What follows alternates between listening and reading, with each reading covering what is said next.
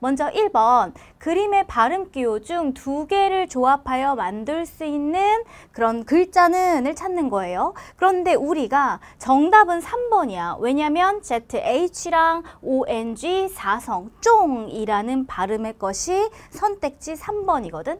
그런데 우리 친구들 중에 실수로 2번을 고른 친구도 분명히 있을 거예요.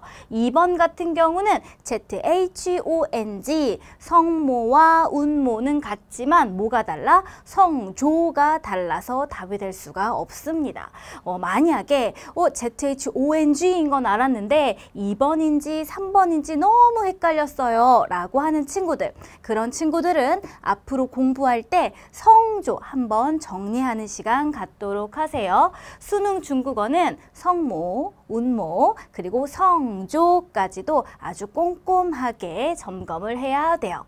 자, 2번 볼까요? 뿌의 성조 변화가 나머지 넷과 다른 것은 이야.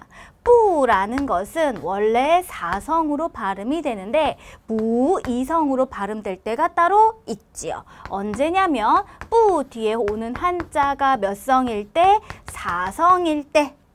자, 그렇다면 1, 2, 3, 4, 5번 중에서 다른 거 한번 찾아볼까요? 1번은 뿌, 카이 2번은 뿌, 쯔 3번은 뿌, 샹 4번은 뿌, 하 5번은 무용이 되겠습니다. 5번 뿌 뒤에 나와 있는 이 한자는 용 사성이에요. 그래서 뿌는 몇 성으로 발음되어야 된다? 이성으로 발음되어야 된다. 정답은 선택지 5번. 굉장히 쉬운 문제지, 그지? 그리고 뿌 뒤에 나와 있는 한자도 그닥 어렵지 않은 것들이 출제가 됐어요. 자, 그 다음 3번. 밑줄 친 부분의 한자 표기가 옳은 것만을 고른 것은 야. 옳은 것을 고르는 건데 정답은 C, D가 있는 선택지 5번이 되겠습니다. A, B가 왜 틀렸는지 살펴보면 자, A의 밑줄 친 이 단어는 원래 타오옌이라고 해서 이러한 한자를 써야 돼요. 그런데 잘못 나와 있지요. 그렇죠? 그리고 B 같은 경우 해결하다라고 할 때 제주에는 요 한자를 써야 돼요. 그런데 주에 제 J-U-E 발음에 해당하는 다른 한자가 쓰였기 때문에 틀렸어. 이거는 음, 이전의 시험하고는 좀 다르게 출제된 부분인데 이전 시험 같은 경우는 비슷하게 생긴 한자들 그냥 일부분 부수가 다르거나 그 안에 들어간 어떤 요소가 다른 것들을 가져와서 여러분을 헷갈리게 했다면 이번 시험 문제 같은 경우는 성모와 운모가 같아서 그래서 헷갈리는 것들을 가지고 왔어요. 여러분들이 실수하면 안 되겠습니다. 타오옌 무슨 뜻이야? 어, 미워하다. 지에 무슨 뜻이야? 해결하다. 단어 한자 체크하세요. 다음 4번 볼까요? 빈칸에 공통으로 들어갈 말로 알맞은 것은 이야. 자, 봤더니 첫 번째 문장을 읽어보니까 이러한 의미의 표현이 필요해요. 자 볼까? 니나리 네가 있는 그곳에는 요메요 있니 없니? 뭐가 거의 땡땡 땡땡 할 수 있는 무엇을? 옌징. 이거 뭐야? 안경이지.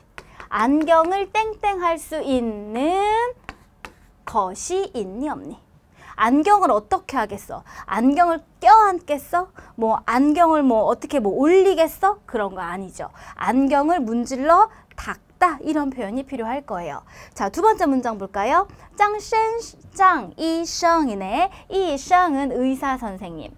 닥터 장 원나이 나이的脚 우리 할머니의 발이 어 다리가 需要 필요로 한가요? 뭐가 필요로 하느냐? 무엇을? 什么药? 무슨 약을 땡땡 할 필요가 있을까요?